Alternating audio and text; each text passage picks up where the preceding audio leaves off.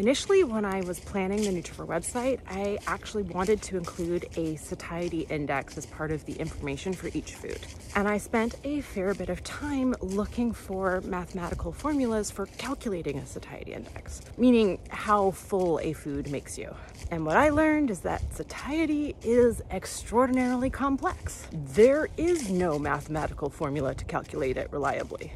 So for example, you'll often hear quoted that potatoes are the most satiating food, but that's plain potatoes, boiled or baked. If you add butter or sour cream or salt, it doesn't fill you up as much. It's not as satiating. Crazy, right?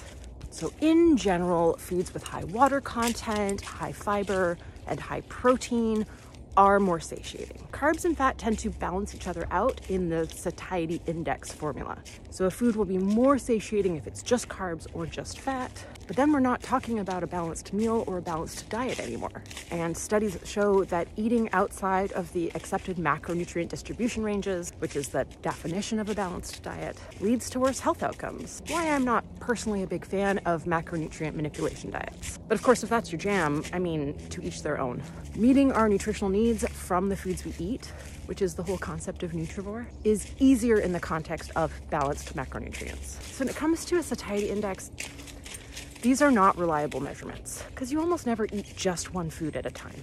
You're gonna add butter or sour cream or salt or all of the above to your potato. So what's more important to know about satiety is the difference between whole and minimally processed foods and ultra processed foods. Ultra processed foods are ones made up of a lot of ingredients that are isolated from foods. Foods like pizza, cookies, cake, crackers, white bread, a lot of uh, pasta noodles, convenient, tasty foods that are also cheaper than whole foods. Ultra processed foods are not as satiating. There was a really interesting study done out of Professor Kevin Hall's lab a few years ago where study participants spent two weeks on a diet where 83% of their calories came from ultra processed foods versus two weeks where 83% of their calories came from whole foods. And each participant did both arms of the study, but it was random what order they did it in.